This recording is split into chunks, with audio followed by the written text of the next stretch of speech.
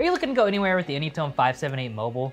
Whether you're a prepper trying to find a reliable communication system or a seasoned amateur operator trying to get the most out of your radio, it is always essential you have the highest quality accessories to complement your radio. Hi, I'm Tanner with Bridgecom Systems, and today I'd like to share the three must-have accessories you need to make contacts from anywhere with the Anytone 578 Mobile. One of the most essential things you need to operate your radio is an antenna. Many radios are limited with the range they can reach, but using an antenna allows you to maximize your range capability. Ham radio antennas are just like any other antenna, so it's not confusing on how they function. Specifically for the 578 Mobile, you'll need the Anytone tri-band antenna. When you use this radio, you'll cover far greater distances. Put more simply, you can make more contacts. What makes this antenna even more special? Your tri-band antenna will come with three band functionality, allowing you to monitor 144, 220, and 440 frequencies.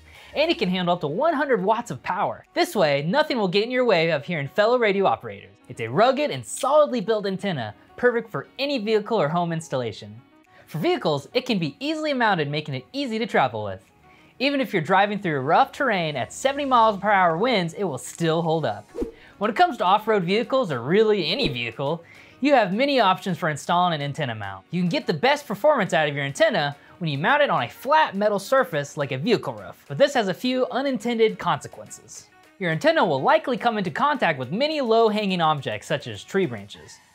An option to solve this would be to go with a small antenna, but this will undoubtedly limit your range. So if you're planning to go mobile with your radio and get the max range by using a powerful antenna, you're going to need something a little more durable that will fit snugly on your vehicle.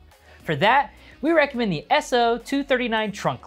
This clip has a well-polished stainless steel construction, and with it comes a solid brass chrome machine cut threading. The SO239 has a 17-foot RG58 shielded coaxial cable making it easy to run into your vehicle for simple installation. Once it's installed, you'll be able to quickly mount your tri-band antenna and start making contacts immediately. Lastly, you're going to need some power. Without an external power source, your radio is essentially useless. But you also don't want a big, loud generator drowning out the sound of your radio. That's why we recommend the Duracomm LPX18 desktop power supply.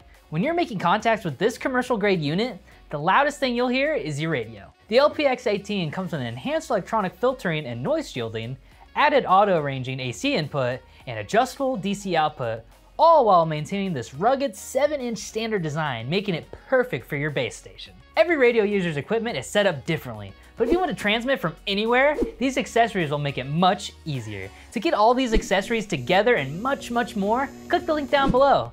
Thanks Kim for watching and 7-3.